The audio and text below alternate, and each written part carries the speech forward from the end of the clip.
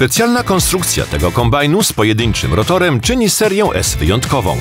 Daje to wyraźną przewagę nad innymi, bardziej tradycyjnymi maszynami rotorowymi oraz konstrukcjami hybrydowymi.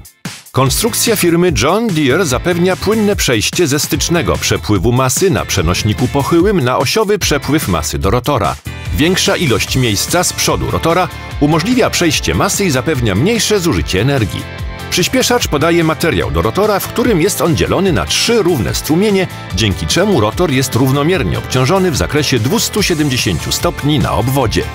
Dzięki temu wydajność pracy rotora zwiększa się do maksimum, ponieważ przepływ masy jest równomierny, a system działa prawidłowo nawet przy zbiorze wilgotnych i zielonych upraw drobnoziarnistych. Aktywna amortyzacja klepiska w maszynach John Deere utrzymuje prześwit klepiska na stałym poziomie, umożliwiając zmniejszanie strat nawet o 5% przy koszeniu wysokich lub wilgotnych upraw. Istnieje możliwość rozszerzenia klepiska dla zwiększenia omłotu materiału. Aktywna amortyzacja klepiska dostosowuje jego położenie do przepływu masy, dzięki czemu wydajność jest wyższa o 10%. Duża średnica rotora zapewnia delikatność omłotu i dobrą jakość słomy.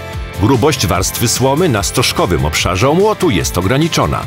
Najłatwiejsze do omłotu ziarno jest usuwane do przodu przez delikatne, ale wydajne młócenie materiału. Pozostała część jest oddzielana w tylnej części stożkowej konstrukcji. Dzięki takiemu rozwiązaniu delikatny proces omłotu pozwala uzyskać najwyższą możliwość jakość ziarna i słomy przy minimalnym zużyciu mocy.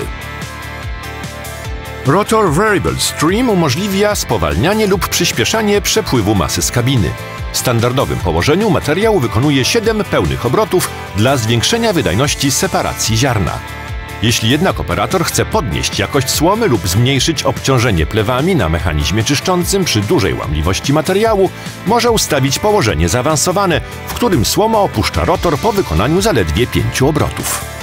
Zastosowanie odrzutnika zapewnia płynne i równomierne podawanie materiału do rozdrabniacza i bardzo równomierne rozprowadzanie sieczki na powierzchni gruntu przy zbiorze roślin zielonych i suchych.